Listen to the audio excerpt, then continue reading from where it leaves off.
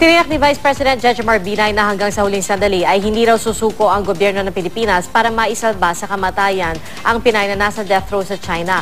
At patuloy rin daw ang pagkikipag-usap ng Pilipinas sa gobyerno ng Saudi Arabia para mapalawig ang deadline sa pag-aasikaso ng mga papeles ng mga undocumented OFW roon.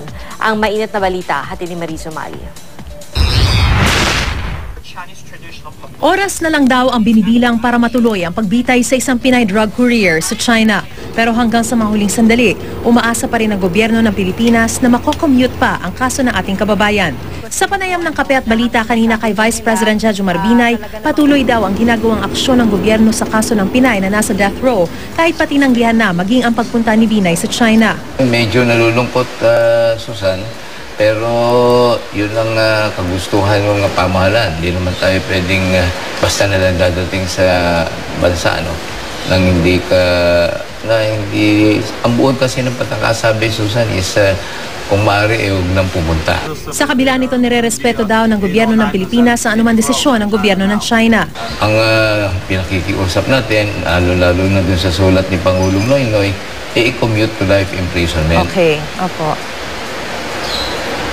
Nilirespeto natin ang ah, batas ng China, Personal din daw na nakausap ni Vice President Binay ang pamilya ng Pinay. kahit na paano sabihin natin kay ito eh, turista o hindi OFW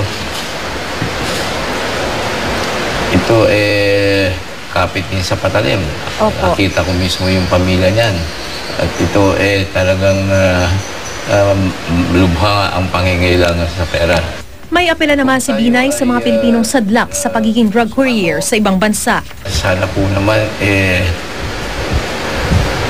baka isip-isipin lang po ninyo ang pasukan ninyo ang ganitong ah, gawain. Ano?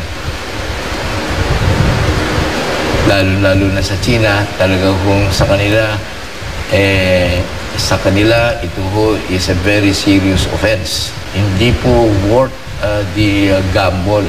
Bukod sa kaso ng Pinay na nasa death row sa China, gumagawa rin daw ng paraan ang gobyerno para ma-extend pa ang deadline sa pag-asikaso ng mga dokumento ng Pilipinong iligal na nagtatrabaho sa Saudi Arabia. Hindi lamang ang ating ah, pamahalaan, kundi ah, yung sa Indonesia, yung sa Bangladesh, yung sa Pakistan.